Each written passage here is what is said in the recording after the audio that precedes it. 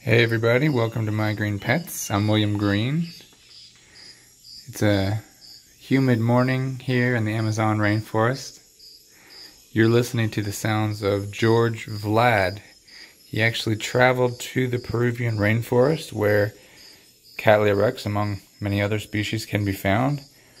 And he recorded many hours of audio at different times of day, different locations and uh, when I put the speaker in here and just, you know, close my mouth and just listen, it is, it is truly, it's truly magical. It really does transport me, if just for a moment. But I wanted to show you guys today um, the divisions that I made last week and then give you an update on the Cattleyas as they are growing. So let's start out with those divisions. My uh, Vanda falcata, so this is the one I'm going to keep this guy right here. And he had lots and lots and lots of offsets coming off. So I ended up with, I think, six offsets over here. Various sizes, really nice big one there. And then some smaller ones as well.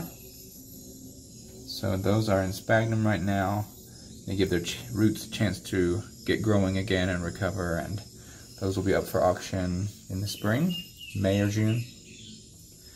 Next to it we have um, Jessie Lee. This is the back bulbs that I'm going to keep of Jesse Lee. And then these are the two divisions that I took. Really, really nice, healthy three bulb divisions. And they are starting to root. So that is very good news. Down there you can see the roots poking out. So I caught them just before they started rooting. So they should get established and have some decent roots by the time they are up for auction in the spring. And then underneath, well, let's go over here. The catasetums all got split up as well and have been repotted. So uh, the furthest along, this is Signota's Wine Delight.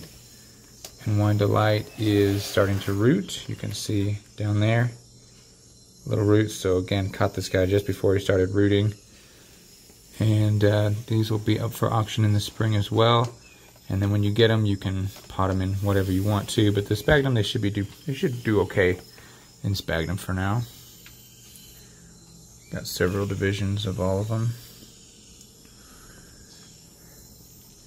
And then if you can kind of go down here, whoops, back out a little bit. These are all my bulbophyllum divisions, so uh, we've got Medusae in the back there. Excuse me. And then we've got Lovely Elizabeth in the front. And they're just kind of loosely in sphagnum there. Give the chance to give the roots a chance to get some moisture. They've got new growths pushing out. Uh, they don't look like they've suffered too terribly. They, the, the bulbs are definitely wrinkled a little bit, but um, I'm really trying to keep them with some moisture there, and hopefully they will keep growing, no problem, and be nicely rooted and have new growths on them and everything when they're up for auction in the spring. Got a few more over here. My uh, Phalaenopsis, monster Phalaenopsis is got nine buds on it and hopefully it's gonna put on a nice show. The bad thing is it's it's to the point now where I can't actually get it out of the tent unless I disassemble everything and lift it out because it won't fit through the spaces but that's okay. And then I have, I think, four or five Dienia ophrydis divisions as well. These are so cool. They are, they're called the cattail orchid in um, Taiwan. And they grow up, they're dormant in the winter. They're just now starting to grow. You can see just on the side there, it's got a little green growth. Don't know why it won't focus there. Oh, I know why. There we go. Yeah, you can see that little green growth there with little red speckles coming up. And these get pretty big. Um, they get about, I don't know, probably double the, double the height of that bulb. And then, um, then the bloom spike comes out the top. You can see this is last year's bloom spike. And it looks like a purple cattail, and it just continues to bloom all summer for about four months. It's pretty cool. Okay, here are some Cattleya seedlings. These are Dowiana, Aurea, the yellow form. And then this little guy is a Blossfeldiana, a natural hybrid. See some little roots poking out there. I love these cute little clay pots. And then these are Rex. Here you can see new little roots growing out on those. Doing okay, doing okay. And then if we just kind of look around at the rest of the plants, kind of zoom out a little bit. Almost all the other Cattleyas that you see here are Cattleya rex, grown from seed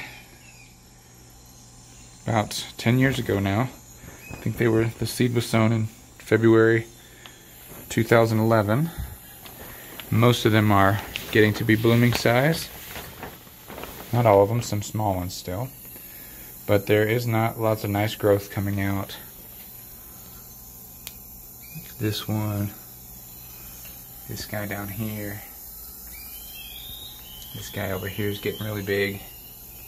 I'm actually wondering if it's if that one is actually too early and won't bloom because of how early it is. I'm not sure. It takes them about three months to complete a growth.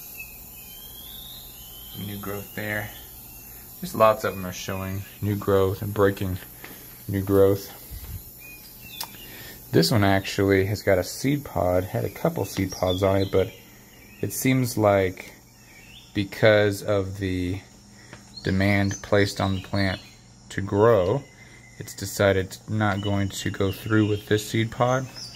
So it's kind of interesting to see what happens as the seed pod matures. It starts to turn brown from the tip and then that creeps all the way up the pod. And then you can see that the sides of the pod actually split and that white fluffy stuff inside is the seed.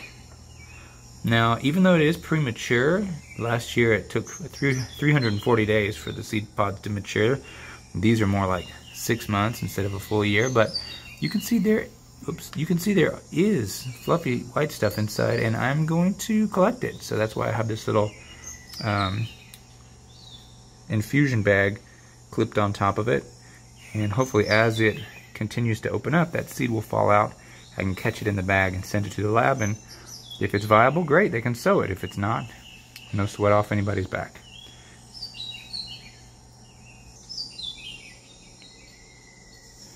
A couple of other plants that are showing signs of growth. This is Dendrochilum tenellum. And you can see lots of new roots pushing out of this guy. New little growths as well. And hopefully in the next month or so we are going to see it bloom. The blooms actually come out of the sides of these grass-like leaves and they just kind of come off the side and they're little sprays of white flowers. They're very, very cute. Uh, hopefully it will bloom. Next we have a little, um, it was just a keiki of uh, Nobile dendrobium. It's really putting out lots of new little roots and uh, new growth. Hopefully that's going to get nice and big. Don't know if it'll bloom this year. Might need another year on there. This Cattleya Jose Marti it's a classic hybrid registered in the 50s. It's Bob Betts by Bow Bells. Somebody remade it recently. This is a seedling, not a, not a clone, but an actual seed-bred seedling. And uh, you can see it's a very aggressive grower. There's roots crawling out everywhere, and it has four growing points. You can see one of the little growing points down there poking out. And uh, I really love for this plant to bloom this year. I'm not sure if it needs another year or so, but it's getting close. It's getting big enough to where it should be able to bloom. Behind it, this is a Trianae clone from an awarded plant. It was awarded in 1939. So this guy's, mm, the mother plant's quite old. And uh, it is also a really aggressive grower. Lots of roots coming out there. It's amazing for a species, you know, but it's definitely a definitely a good one. And then a few weeks ago, I was a little concerned about my um, Paph Prime Child. I put some of this fine bark on top of the mix to kind of cover up the base because the roots were kind of pushing out and then drying up. They weren't actually growing out, so hopefully that's going to help. And I've been drenching this thing once a week, maybe twice a week. What I'll do is I'll pour the fertilizer through and then I'll rinse it out really good. I've seen Ed of Ed's Orchids do that. I've seen um, the owner of Paph Paradise, he also does that. So they're both very, very successful paph growers. I'm going to try to do what they do. And then my Bulbophyllum croceum that I got in the mail a couple weeks ago. It's been potted up in that fine bark as well. And I put uh, Catenulatum, Bulbo Catenulatum as a companion plant in there with it. And then we've got Hal, Bulbophyllum echinolabium, just about to open. He's going to open up tomorrow. You can see the sides of the petals already split there, and that'll be that'll be popped open tomorrow. Kind of excited to see on this Cattleya maxima. There was a this sheath here is actually a double sheath. You can see inside there, kind of a darker color. And last year these things bloomed in July. They're not supposed to bloom until November, but it bloomed twice. It bloomed in July and then it bloomed again in September. So really looking forward to that. Really several nice big sheaths on that plant. Be really exciting to see it bloom out. So yeah, I think that's about all I'm going to show you today.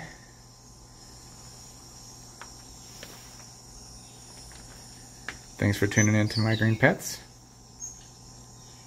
We'll see you next time. Bye.